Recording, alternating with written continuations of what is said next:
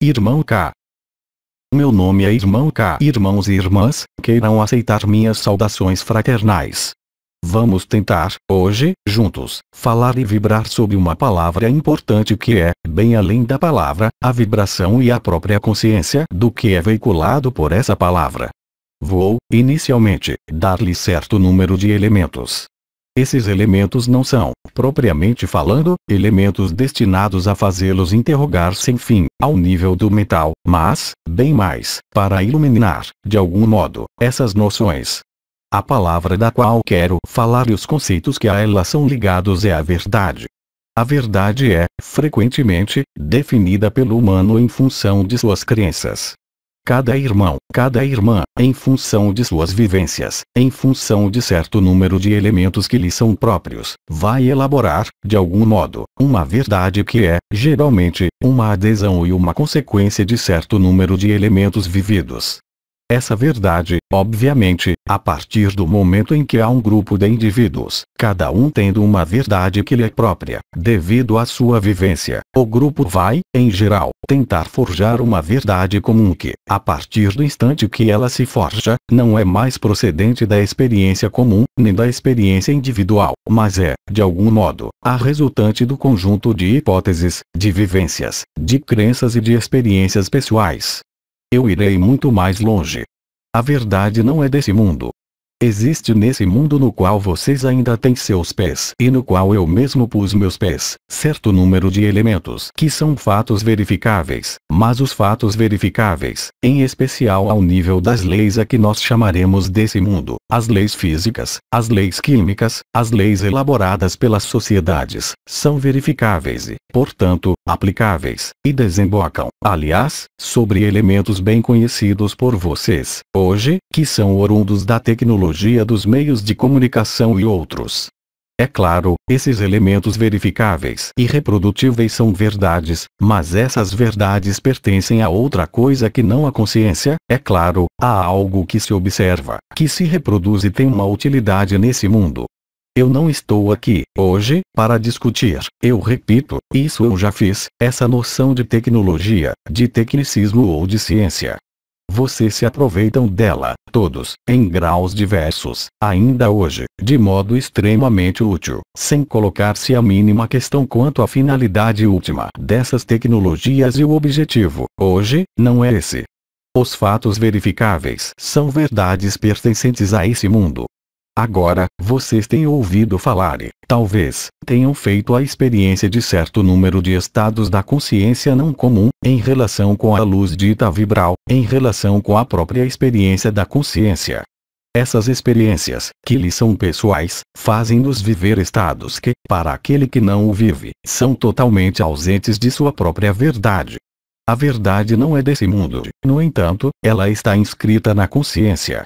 ela corresponde ao momento preciso em que a consciência não está mais centrada no eu, na personalidade, no desejo, ou seja, se se toma a imagem de um círculo ou de uma esfera com um ponto central, o eu seria o ponto central, que vai tentar, por projeção de sua própria consciência, fazer-se uma ideia da verdade, fazer-se uma ideia, a fim de aderir a certo número de crenças ou de leis científicas estabelecidas, pertencentes a esse mundo, no que concerne à verdade que não é desse mundo, quer isso seja diretamente oriundo de uma crença desse mundo ou de um fato dito científico, reprodutível desse mundo, a verdade não é desse mundo,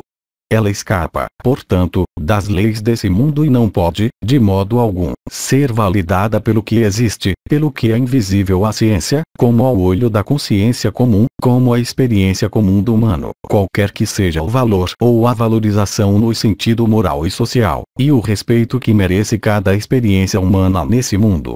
A verdade não é desse mundo,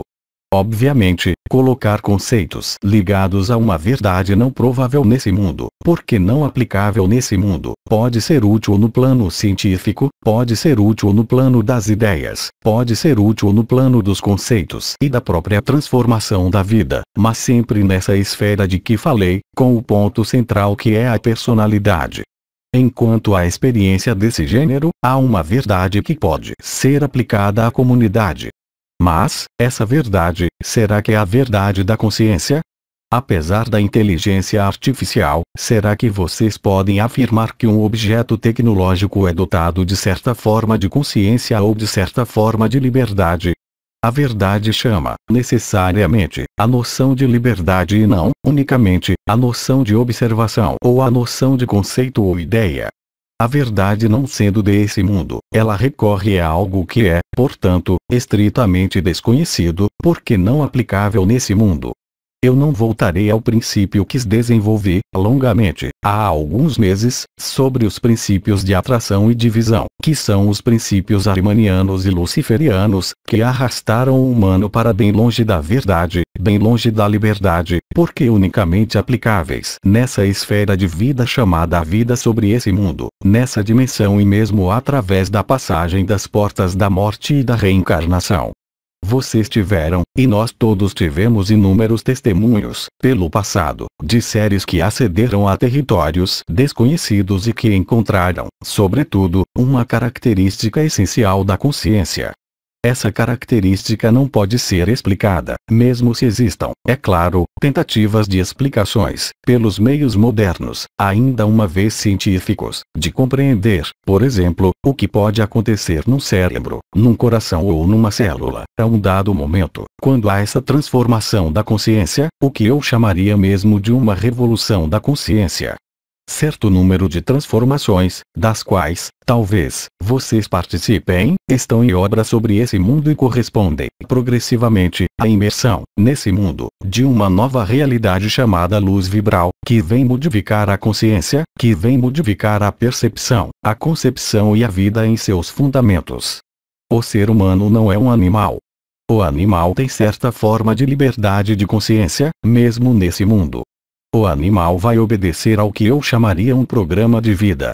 Esse programa de vida está inscrito, é claro, na espécie animal considerada. Um predador tem um programa de vida que consiste em ser um predador, em caçar presas. Enquanto um herbívoro será um animal que vai procurar prados para nutrir-se. As funções de conservação da vida, numa determinada espécie, seja ela animal ou humana, são apenas um vislumbre extremamente limitado do que pode ser a verdade. Há uma verdade verificável pelas leis desse mundo. É a verdade comum ao conjunto de consciências presentes sobre esse mundo. O sol levanta-se em tal lugar e deita-se em tal outro lugar. Qualquer que seja o lugar da Terra, cada consciência pode observar, a cada dia, o mesmo mecanismo. Será que a repetição de um mecanismo, no entanto, bem físico, bem real e que tem efeitos perfeitamente conhecidos, como o Sol, basta para dizer que o Sol seja verdadeiro, Certamente, resulta da observação dos efeitos do Sol certo número de elementos, perfeitamente conhecidos da consciência, tanto animal como humana, como, o mesmo, vegetal e pode-se dizer, o mesmo, mineral, ou seja, cada reino, cada espécie vai conformar-se, por exemplo, ciclos chamados diurnos e noturnos, concernentes a essa famosa luz do Sol e os efeitos do Sol sobre a própria vida. Em todas as civilizações, o Sol foi considerado, com razão, como o distribuidor de calor, de vida, e adorado, como tal, como o próprio princípio, chamado de modo mais moderno, o Logos Cristo ou o Logos Solar ou, ainda, Cristo Miguel. Certo número de elementos foram-lhes, também, comunicados. Alguns de vocês puderam, talvez, verificá-lo, para saber que existe, no Sol, o corpo de existência, ou seja, a consciência e o espírito, confinados nesse Sol, em curso de liberação. É claro, enquanto vocês aderem a isso sem vivê-lo, isso não é uma verdade que lhe seja acessível, mas continua uma crença a qual vocês aderiram, ou não, creram, poder vivê-lo. Nós definimos, em seguida, certo número de elementos que lhes permitem, progressivamente, aproximar-se de uma verdade que não é desse mundo, portanto, penetrar, de algum modo, diretamente, em plena consciência, em elementos novos, que eram, até o presente, reservados a alguns seres em determinado caminho, após uma forma de acesso específica, que permitia a essas consciências encontrarem outra coisa que não a consciência comum, Essa consciência não comum, não limitada, ilimitada, chamada consciência turia ou consciência do despertar, ou consciência unitária reagrupa, de fato, a modificação e a transformação, ou revolução de consciência a mais total que o ser humano pode viver. Esse mecanismo é estritamente pessoal e privado. O interesse é, nesse nível particular, porque vem, de algum modo, irromper nesse mundo, dando, para as consciências que vivem essa modificação, essa revolução da consciência, uma espécie de balizamento, se posso empregar esse termo, de mecanismos que estão em obra e que permitem ser, de algum modo, os testemunhos da transformação da consciência que vai, progressivamente ou de maneira extremamente brutal, fazer passar a consciência situada no eu, ou seja, o centro da esfera ou do círculo, para uma consciência que não está mais localizada, nem ao centro da esfera, nem na esfera, mas bem além da esfera, ao mesmo tempo mantendo, de algum modo, uma consciência dita limitada nesse mundo, na qual não existe verdade. Essa verdade, que não é desse mundo, não pode ser transmitida nem por palavras, nem por outra pessoa. Ela apenas pode ser vivida, a fim de validar e de verificar, de algum modo, seus fundamentos. Existem, contudo, balizas, assim como eu disse, que são comuns àqueles que vivem esses processos de expansão de consciência. Eu atraio sua atenção, porque existem muito numerosos escritos, de autores conhecidos, e, hoje, menos conhecidos, uma vez que mais recentes, que falam dessa noção de unicidade da consciência sem, contudo, dela viver o aspecto que eu qualificaria de vibral. Não é porque vocês aderem ao fato de que a consciência é única, não é porque vocês vão aderir ao amor universal que vocês vão tornar-se o amor universal. Não é porque vocês aderem ao Cristo que vocês vão tornar-se o Cristo. Não é porque vocês seguem Buda que vocês vão tornar-se Buda. Tudo isso, nós todos sabemos, uns e outros. A consciência não limitada, a consciência não confinada tem certo número de particularidades, eu não voltarei sobre o que eu chamei de balizas. Elas foram amplamente desenvolvidas, amplamente explicitadas. Elas correspondem, grosso modo, ao que foi chamado de doze estrelas ou as doze vibrações da cabeça, os quatro pilares da cabeça, a revelação da luz, sobre o que nós falamos, amplamente, durante esse verão de seu ano que acaba de escoar-se, inverno no hemisfério sul, concernente à revelação da luz ao nível das portas interdimensionais, das quais cada uma tem uma função extremamente precisa na instalação dessa consciência não comum. Essa consciência não comum é diretamente religada à noção de verdade. Verdade que não é desse mundo e que, no entanto, vem agir sobre esse confinamento, nesse universo, nesse corpo, nessa vida ou nessa sucessão de vidas na qual o ser humano encontrou-se, de algum modo, submisso a princípios de evolução, Há, portanto, um consenso, ao nível do humano, em todo caso, naqueles que se interessam ao que é a consciência, sobre uma noção de evolução, sobre uma noção de melhoria de alguma coisa. Ora, como é que o Espírito, que é perfeito, de toda a eternidade, que é a verdade absoluta, teria necessidade de qualquer melhoria, dado que ele já é criado perfeito, de toda a eternidade, e está presente em todas as dimensões, Há, aí, efetivamente, um paradoxo, que a consciência limitada não está perto de resolver, a não ser na adesão a crenças de um futuro melhor, de um salvador exterior, de uma melhoria kármica ou, ainda, de princípios ligados à vontade de bem, que fazem crer a muitos seres humanos que, praticando o bem em detrimento do mal, um dia virá em que se manifestará a luz. Nada há de mais falso, porque a luz não é desse mundo, Ver a luz de olhos fechados não é ver e vibrar a luz. Conceber a luz em ideia, ver a luz do terceiro olho, isso foi explicado, não é, absolutamente, a consciência da unidade nem a vivência da consciência luminosa daquele que encontrou sua dimensão de eternidade. É claro, foi extremamente sedutor, para uma consciência limitada, conceber que existiria, em algum lugar, algo que seguiria uma linhagem evolutiva, que o conduzia a reencontrar-se, um dia, mais tarde, certamente, perfeito. A perfeição não é desse mundo. A verdade não é desse mundo no qual nós pusemos nossos pés. A verdade é inacessível a esse mundo, enquanto a consciência situa-se ao centro da esfera, Então, é claro, algumas consciências vão ler, além do que é habitual, para tentar viver certo número de experiências. Existem, de fato, experiências nas quais se pode manifestar o que eu chamaria de certa forma de deslocalização e nas quais a projeção da consciência não se faz mais sob uma forma de introjeção, ou seja, de foco no eu ou na personalidade, mas, bem mais, como uma projeção, por exemplo, no mineral, numa árvore ou em outro ser humano. Tratar-se-á, sempre, de uma projeção, mesmo se essa projeção desemboque, no momento, sobre uma experiência que tenha um objetivo transformador, que é, simplesmente, fazer tomar consciência de que a própria consciência não é limitada a um corpo, não é limitada a uma experiência de vida, mas pode, de algum modo, penetrar outra experiência de vida. Mas isso não fará, jamais, sair da esfera, isso não permitirá, jamais, sair do confinamento presente nesse mundo. Existem, no entanto, muito numerosos testemunhos de seres que viveram estados específicos, chamados Turiria, nos quais se manifesta, então, uma revolução total de mecanismos de funcionamento da consciência, nos quais os próprios princípios da fisiologia humana comum não são mais respeitados. Eu falo, é claro, do que poderiam ser chamados os poderes, os CIDs e o conjunto de manifestações específicas que ornamentou, se se pode dizê-lo, a vida de místicos, em diversos horizontes e em diversas sociedades. Esses seres, no entanto, deixaram, todos, testemunhos da própria verdade deles, Ora, assim que a verdade é posta em palavras, ela não é mais a verdade porque, logo que vocês exprimem, em palavras, sua verdade, ela já não é mais sua verdade, e aquele que aderiria a ela não estaria mais na sua verdade, mas na verdade dele, mas desembocaria, de maneira inevitável, numa crença, o arranjo dessa verdade, a compreensão dessa verdade, a experiência de um ou do outro não será, jamais, a experiência de um ou do outro,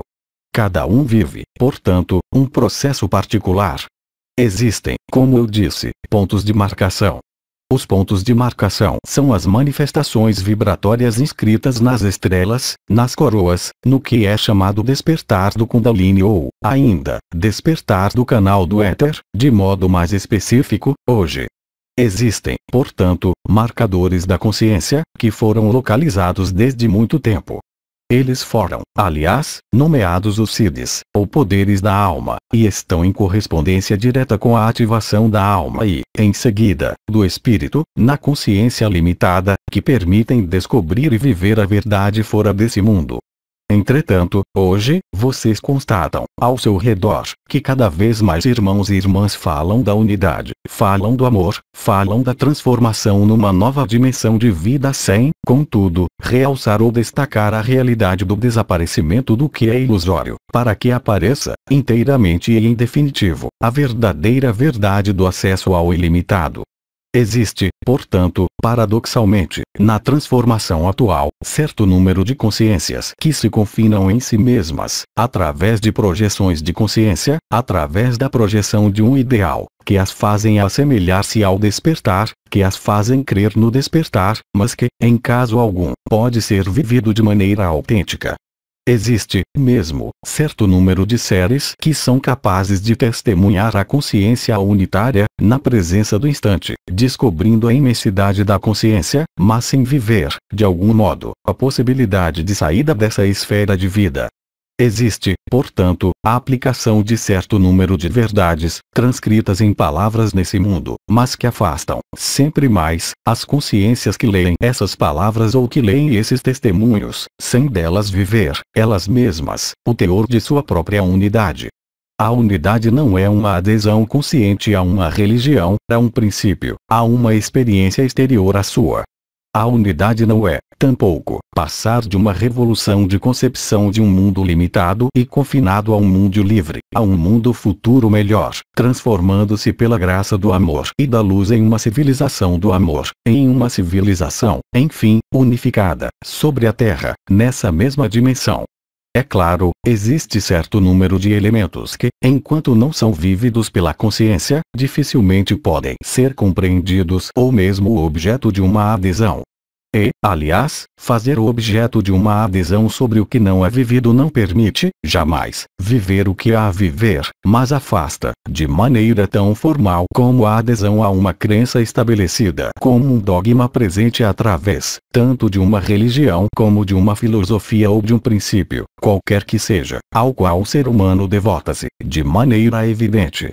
o princípio da consciência que funciona no modo limitado passa, necessariamente, por um processo chamado de projeção ou exteriorização. Esse mecanismo de exteriorização serviu, por exemplo, à ciência, para estabelecer, de algum modo, o enquadramento de leis desse quadro de vida, mas não permitem, jamais, elaborar um quadro de vida mais amplo e infinito, Simplesmente, ele lhes dá os meios para dele sair fazendo, de algum modo, navegar a consciência e a vida nesse mundo, exclusivamente, nesse mundo. É claro, existem espaços, mais ou menos, de escape da consciência comum, esses espaços foram chamados o sonho, e os sonhos são, aliás, extremamente variados, como vocês sabem, como vocês todos têm vivido, e podem conduzir a experimentar certo número de elementos que se aproximam, por vezes, da verdade.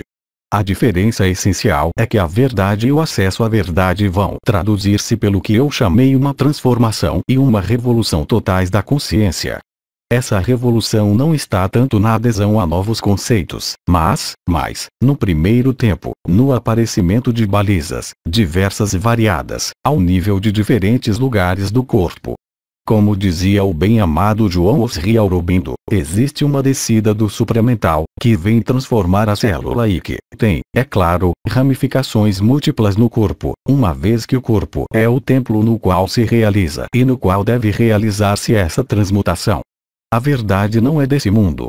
Não é, portanto, questão de deixar esse mundo para encontrar uma verdade em outro lugar, o que é, aliás, totalmente impossível. A verdade é uma transformação alquímica, total e irremediável, desse mundo, em uma nova realidade vibratória, chamada estado multidimensional ou quinta dimensão, ou outra dimensão mais elevada, mas, em todo caso, que lhes foram nomeadas unificadas, o princípio de unificação não é um conceito, não é, simplesmente, ligado ao aparecimento de marcadores ou de balizas ao nível do corpo, estrelas, coroas, sacrum, portas etc. ou fenômeno vibratório, mas, efetivamente, em definitivo, a capacidade da consciência para viver um estado não localizado nesse corpo, não localizado nesse mundo, não localizado no que quer que seja pertencente a esse mundo, é claro, para inúmeros de vocês que vivem as vibrações, isso é perfeitamente lógico e foi, aí também, longamente desenvolvido e explicado, como um mecanismo que permite manter, de algum modo, a ilusão desse mundo, desse corpo, o tempo que o momento coletivo de transformação da humanidade chegue. A verdade não é, portanto, desse mundo. A verdade é, de fato, a liberdade da criação, Liberdade da criação que significa que toda consciência não é, jamais, aprisionada em qualquer limite de experiência, o que, confessem, é totalmente oposto ao que vive a consciência humana nesse mundo, através mesmo de princípios chamados livre-arbítrio, reencarnação, karma, bem e mal. Existe, portanto, um princípio que nós nomeamos falsificação, Obviamente, aderir ao princípio de falsificação não é suficiente para ceder à unidade, não é suficiente para viver a unidade e certo número de elementos foram lhe dados, de modo mais recente, que permitem, para aqueles que vivem, de algum modo, o balizamento da nova consciência, os testemunhos vibratórios dessa nova consciência nesse corpo, começarem a aproximar-se dessa ressurreição que é, de fato, a entrada da consciência no estado totalmente inédito, totalmente novo, no qual nenhum marcador existe no confinamento, ou seja, do ponto em que vocês estão no eu, ou da esfera de vida na qual vocês evoluem, mas que são, entretanto, de algum modo, elementos que devem ser vividos absolutamente e vibrados, tanto na esfera como no ponto. Há, portanto, uma transmutação, uma revolução, uma transformação da consciência, que vai desembocar na verdade, a verdade, a única verdade é que a liberdade da consciência é indissociável da alegria, do amor, da não localização, da não espacialização e da onipresença da consciência em todas as dimensões. A isso, é claro, a consciência do ser humano apenas pode aderir, mas, aderir não quer dizer vivê-lo. Certo número de limites, ligados ao próprio confinamento, vem, portanto, de modo extremamente natural, arrastar o humano a crer em certo número de elementos, seja em um paraíso futuro, seja em uma melhoria futura, seja em uma progressão, lenta, consecutiva a uma queda, que teria sido desejada por não se sabe quem.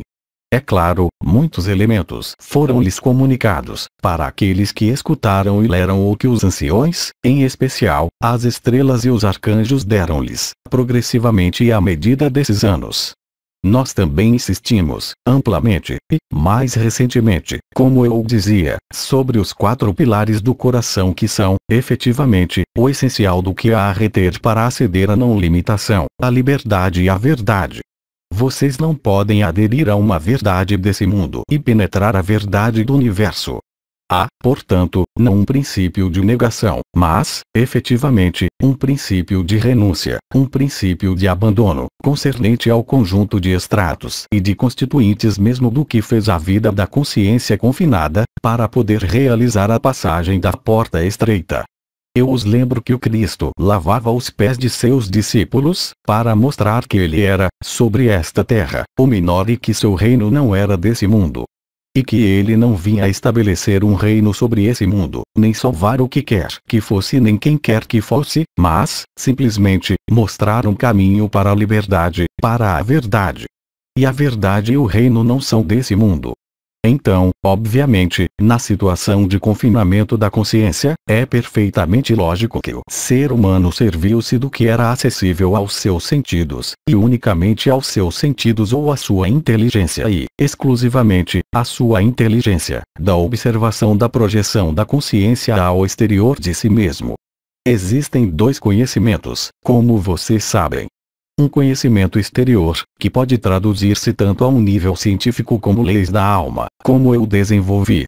Conhecer as leis da encarnação não os fará, jamais, sair da encarnação. Entretanto, elas permitem melhorar uma condição, mesmo na esfera de confinamento, mas não permitirão, jamais, sair da esfera de confinamento, contrariamente ao que inúmeros ensinamentos de gurus, de mestres e de diretores de consciência, ou de guias, puseram como fundamentos. Isso, é claro, vocês podem imaginar, é totalmente falso. Caso contrário, o ambiente próximo daqueles que denominam mestres ter-se-ia amplamente realizado por indivíduos no mesmo estado e na mesma consciência que o mestre em questão. E, como vocês talvez saibam ou observam, esse jamais foi o caso. É claro, existiram, por exemplo, alguns mecanismos precisos, e eu remeto, para isso, à história da descida do Espírito Santo sobre os apóstolos, que remetem a uma transformação específica da consciência.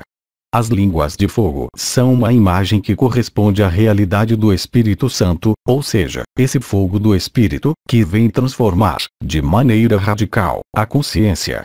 Enquanto o ser humano crer que é dependente do tempo, em especial, do tempo desse mundo para evoluir, para transformar-se, ele não pode, em momento algum, sair do tempo.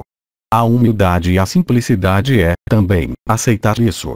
E, também, renunciar a um princípio de evolução, qualquer que seja, assinalando-se pelas leis da alma, por uma melhoria de um karma, por uma evolução nesse mundo, que permite liberar-se desse mundo,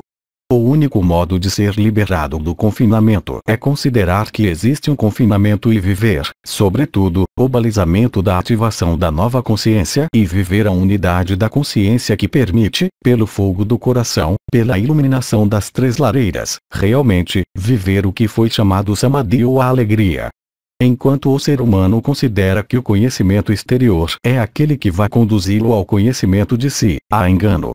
Esse engano perdura há milênios porque, em todos os tempos, os seres na busca de sentido, na busca de verdade, interessaram-se, é claro, pelas leis da alma ou, ainda mais recentemente, pelas leis científicas. Aqueles que se interessavam pelas leis da alma há mil ou dois mil anos, são aqueles que se interessam, hoje, do mesmo modo, pelas leis científicas desse mundo. Mas nenhuma lei desse mundo pode explicar a consciência, Nenhuma lei desse mundo pode transformar a consciência. Apenas a luz vibral e a vibração administram na consciência e permitem, a um dado momento, aproximar-se da famosa porta estreita, ou seja, renunciar, abandonar-se, viver a crucificação e a ressurreição para aceder à liberdade e à verdade. A liberdade e a verdade não são, portanto, elementos desse mundo, e vocês não podem apoiar-se em qualquer conhecimento exterior, sejam as leis da alma, seja a astrologia, seja o tarô, seja a energética, seja o yoga o mais evoluído, para sair desse mundo. Isso é apenas uma ilusão. Enquanto a consciência não está introjetada, ou seja, não se voltou, inteiramente, para o conhecimento interior, enquanto existe um mínimo conhecimento exterior ativo em sua consciência, vocês não podem cruzar, de maneira definitiva, a porta estreita. É claro, o impulso da luz vibral, o impulso do espírito, hoje onipresente sobre a Terra, para aqueles que desejam abrir-se a essa potencialidade, é capaz de favorecer, de algum modo, a transformação, a revolução da consciência, total, que permite aceder à verdade, independentemente de aspectos de balizas vibrais de portas, de estrelas, de coroas, do que são chamados os chakras, do que são chamados os novos corpos, há um elemento que não pode, absolutamente, enganar a consciência. É que, quando vocês vivem a unidade, vocês sabem. Vocês não têm que colocar-se a questão, porque a transformação é muito evidente, ela desemboca na liberdade, na verdade, e os faz sair, de maneira mais ou menos rápida, mais ou menos violenta, de todos os quadros de referência, de todas as crenças e de todas as submissões a qualquer crença que seja, moral, social, afetiva, condicionante, comportamental ou outra. Vocês descobrem, unicamente naquele momento, o que é a liberdade e o que é a verdade. Obviamente, vocês ainda estão presentes nesse mundo, e não é questão de deixar esse mundo, enquanto ele não ascensionar por si mesmo. Como vocês sabem, é a Terra quem detém, de algum modo, as chaves de seu céu, mas vocês detêm, vocês mesmos, a chave de seu coração. Apenas vocês, e vocês sozinhos, é que podem descobrir a verdade. E essa verdade não pode apoiar-se em qualquer conhecimento exterior, Apenas no instante em que vocês decidem, em consciência, penetrar no conhecimento interior, ou seja, identificar-se a vibração de sua consciência, é que vocês se tornam essa vibração, essa consciência, que nada mais tem a ver com a consciência da personalidade, com a consciência comum. Viver a verdade não é, portanto, um negócio de crença, Viver a liberdade não é, portanto, um negócio de negação do que quer que seja desse mundo, mas, efetivamente, a transformação, total, desse mundo para outra realidade, bem mais tangível, cuja densidade, absolutamente, nada tem a ver, e, portanto, o princípio de confinamento não existe mais. Assim, portanto, vocês não podem tomar consciência da prisão sem sair da prisão, ao mesmo tempo estando na prisão. O único modo de ali chegar não é denunciar a prisão, não é ver o bem ou procurar o bem para denunciar o mal, não é, exclusivamente, fazer o bem, mas, efetivamente, transcender os limites, justamente, do bem e do mal. O que não quer dizer que, naquele momento, vocês vão fazer o mal ao invés do bem, mas, tanto um como o outro lhes são totalmente estranhos, porque vocês vivem a unidade, a unidade, a verdade, a liberdade não se importam com as leis do confinamento do bem e do mal. O princípio de karma, o próprio princípio do que eu chamei, há alguns meses, o fogo elétrico do confinamento, ou fogo da alma, fogo prometeico ou luciferiano, diretamente ligado ao conjunto de desejos, e mesmo o desejo de luz são apenas elementos que vão afastá-los do instante presente, do que foi chamado Ikinuk, que lhes permitem viver o coração, Enquanto há uma projeção da consciência em qualquer passado, enquanto há uma projeção da consciência em qualquer futuro, e nosso comandante exprimiu-lhes, longamente, a diferença entre a espera e a esperança, vocês não podem viver o coração, porque o coração é, obviamente, totalmente atemporal. Ele é a verdade que não está presente nesse mundo, mas que vocês apenas podem encontrar parando, inteiramente, em seu nível, tudo que faz referência a esse mundo sem, contudo, estar na negação desse mundo, mas, efetivamente, na renúncia desse mundo. A renúncia desse mundo é um mecanismo interior. Não vão fechar-se no cume de uma montanha esperando viver a unidade. Isso é impossível, mesmo se alguns místicos, nos tempos passados, realizaram-no. Nós não estamos mais, verdadeiramente, e vocês não estão mais, verdadeiramente, nos mesmos tempos. A luz é onipresente. Muitos de vocês a percebem, além das balizas vibratórias de seu corpo. A visão etérea, a visão do coração permitem ver, real, concreta e objetivamente, a imersão dessa nova realidade e dessa verdadeira verdade na verdade efêmera desse mundo. O único modo de participar disso é, vocês também, tornar-se, como foi dito, transparentes à luz. Tornar-se transparentes à luz quer dizer nada parar, nada frear, nada reter para si, o princípio da personalidade é de considerar-se como o elemento central, que projeta sua consciência para apreender o ambiente. Assim, portanto, é o mecanismo habitual da consciência nesse mundo. Esse mecanismo é totalmente ausente nos mundos unitários, nos mundos unificados, porque a consciência, como foi dito, não é localizada nem no tempo, nem no espaço, nem no corpo, mas está presente, do mesmo modo, na totalidade dos corpos, na totalidade dos universos. Quando os arcanjos, nós, ou as estrelas dizemos que estamos no interior de vocês, isso não é uma visão do espírito,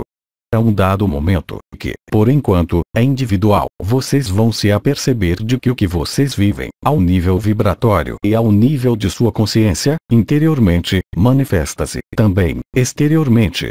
e que, por exemplo, o aparecimento real da densidade de um anjo, em sua dimensão, ou de um anjo do Senhor, ou de um verdadeiro anjo, ou de um arcanjo é visto pela visão etérea ou pela visão do coração, mas manifesta-se, do mesmo modo, no interior de si. Isso foi chamado, aliás, outra coisa que não a relação ou a comunicação. É o que nós chamamos a comunhão. Essa comunhão, essa graça é o estado habitual da consciência nos mundos da verdade. Nessa época em que a comunhão generaliza-se, devido a múltiplos fatores que foram realizados pelo humano, que foram realizados pelos arcanjos, pela irradiação do Sol central, pela própria Terra e pelo próprio Sol, vocês constatam que lhes é possível e permissível viver momentos de comunhão a nenhum outro similar, que não podem mesmo rivalizar com qualquer harmonia existente numa comunicação, a mais harmoniosa que seja, numa relação, a mais afetiva e desabrochante que seja. O princípio da relação e da comunicação é uma verdade ilusória desse mundo, baseado na falta. De fato, se houvesse a consciência de que tudo está no interior de si, qual interesse haveria em procurar qualquer completude ou qualquer relação no exterior de si? E isso vale, é claro, tanto na noção de casal como na noção de interação, qualquer que seja, em todos os setores da vida nesse mundo. A partir do instante em que o ser humano vive a não localização, a partir do instante em que há essa transmutação, essa revolução da consciência, que, para aqueles que não a viveram, vai tornar-se cada vez mais abrupta, cada vez mais brutal e cada vez mais evidente. Há, é claro, um posicionamento que será diferente, ou a personalidade vai procurar apropriar-se do que é vivido e, naquele momento, vai tentar fazer impingir a luz, se se pode dizê-lo, vibral, nesse mundo, ou a personalidade vai tornar-se, inteiramente, transparente e vai realizar, de fato, a unidade, ou seja, viver a verdade, que não é desse mundo, ao mesmo tempo mantendo um corpo nesse mundo, Apenas naquele momento que a porta estreita é definitivamente aberta e é apenas naquele momento que se pode chamar despertar, autêntico, acesso à unidade, autêntico.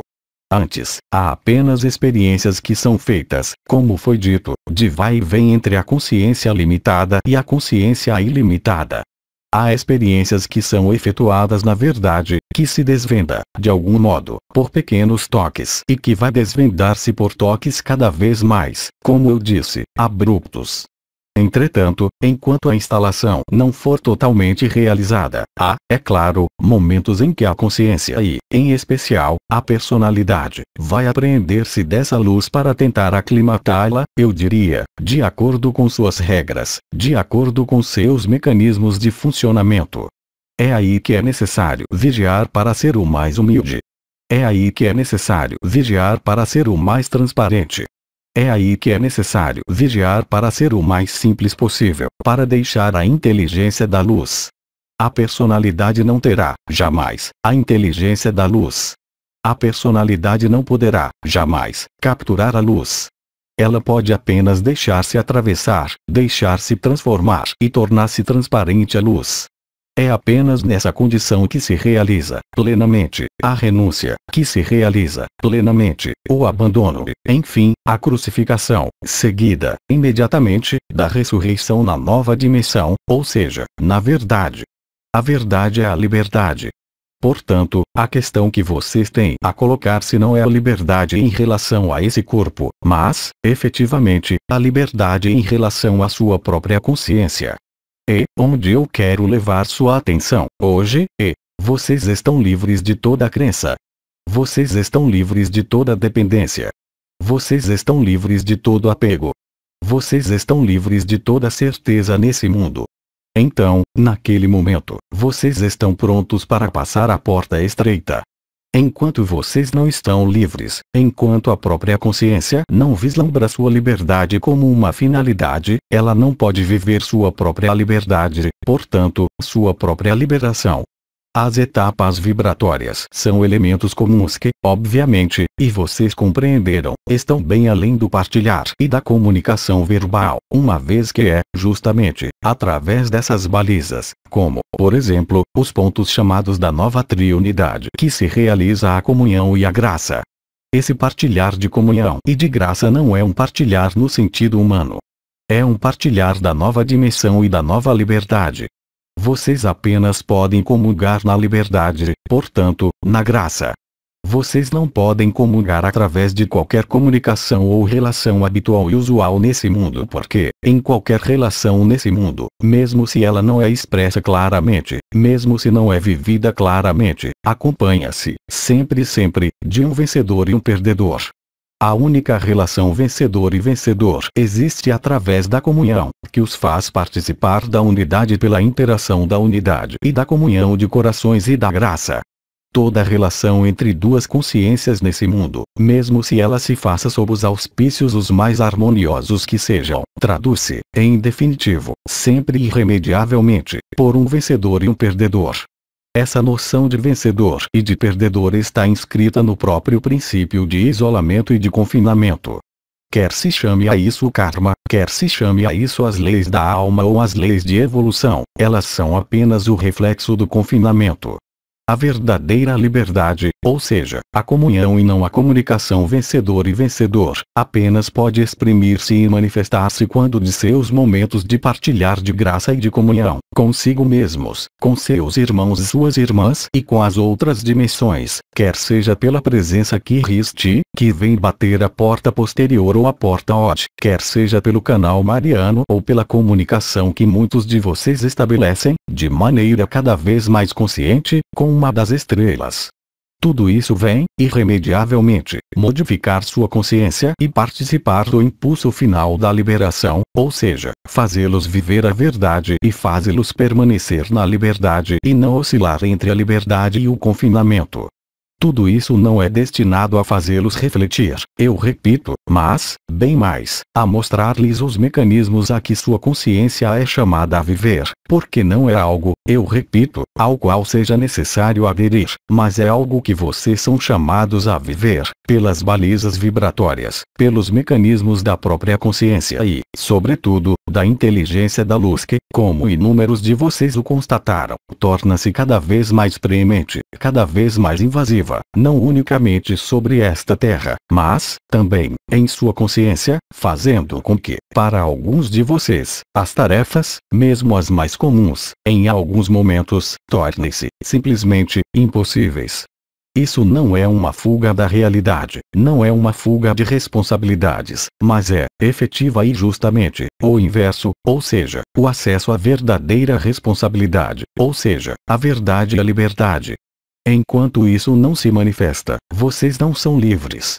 Vocês creem ser livres, mas vocês são livres no que é chamada uma prisão, mas vocês continuam na prisão. A irrupção da luz e a invasão da luz nesse mundo, na consciência, nesse corpo que vocês habitam tem apenas um objetivo. Fazer de modo, como foi explicado ontem, a que o processo final da ascensão desenrole-se, para vocês, na maior das alegrias, na maior das percepções de liberação, de liberdade e de verdade. Os medos que estiveram presentes e que estão inscritos no confinamento, talvez vocês ainda os tenham, vocês se apercebem que eles estão cada vez menos presentes. Mesmo se eles são muito agudos, eles não podem reprimir, totalmente, a consciência, eles não podem impedir, totalmente, a luz de penetrar, caso contrário, o conjunto de processos vibratórios que estavam em curso pararia. Vocês constataram, simplesmente, a parada, ainda que apenas por algumas horas, de um dos processos vibratórios que vocês têm vivido. Eu duvido muito que esse seja o caso, porque a liberdade é algo sem retorno. Ir para a verdade e viver a verdade implicam, de modo constante, concomitante e absoluto, o desaparecimento de todos os confinamentos vividos, aceitos ou acreditados. A liberdade da consciência é isso, é esse processo que há a viver, de maneira individual e coletiva, e, portanto, vocês fazem de algum modo, uma forma de aprendizagem acelerada, durante este período. Desde a abertura da porta posterior, chamada porta Kiristi, a passagem da porta estreita, após algumas provas ligadas a subidas de eliminação de alguns medos, ligadas aos apegos coletivos, vê-se, hoje, transmutável, de maneira extremamente simples, de acordo com um princípio que foi explicado, ontem, de vasos comunicantes. Se vocês compreendem e vivem, vocês mesmos, esse princípio de vasos comunicantes, torna-se-lhes a cada vez mais fácil comunicar-se em vocês e, portanto, comungar em vocês, fazendo-os, naquele momento, viver a graça, viver a liberdade e a verdade, da maneira mais autêntica e a mais liberadora. A verdade não é, portanto, desse mundo, e é, no entanto, sobre esse mundo que vocês devem vivê-la, porque vocês aí estão para isso. Aí está o que eu tinha a dizer sobre a verdade e a liberdade que são, como eu espero ter lhes mostrado e, talvez, feito viver, as duas faces mesmo da consciência livre, as duas faces mesmo da consciência unificada, da consciência turia. Lembrem-se de que, quando vocês vivem essas passagens, é uma evidência. A questão não pode chegar à consciência porque, vocês sabem, de maneira formal, sem colocar a questão, que vocês vivem Turiria, que vocês vivem a alegria, que vocês vivem a verdade. Não pode existir a mínima dúvida, naqueles momentos. Se a dúvida aparece, naquele momento, naquele momento, vocês não estão mais na verdade, vocês não estão mais na liberdade. Isso se chama o Samadhi, isso se chama a alegria, isso se chama Sapchitananda, isso se chama o estado de felicidade, no qual penetra a consciência, quando ela se liberta e se libera, ela mesma, do conjunto de compartimentações e de confinamentos. Penso que temos, ainda, um pouco de tempo diante de nós, se há necessidade de completar o que eu lhes disse, concernente à liberdade e à verdade, então, gostaria de tentar ali aportar algumas palavras complementares. Não temos perguntas, agradecemos. Irmãos e irmãs da humanidade, vou, então, deixá-los, sem deixá-los, verdadeiramente, uma vez que vou propor-lhes viver um instante de comunhão e de graça, esse será, portanto, nosso modo de comungarmos, juntos, para além das palavras. E eu lhes digo até uma próxima vez. Então, vivamos a graça da comunhão. Efusão vibratória. Comunhão.